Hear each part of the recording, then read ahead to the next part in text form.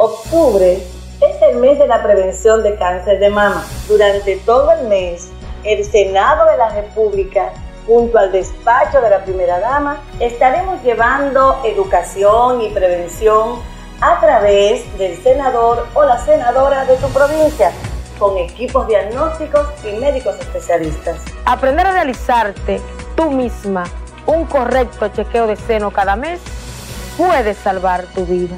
El cáncer de mama detectado a tiempo se puede curar. Previniendo, fortalecemos y alegramos a toda la familia. El primer paso es prevenir para vivir más y mejor.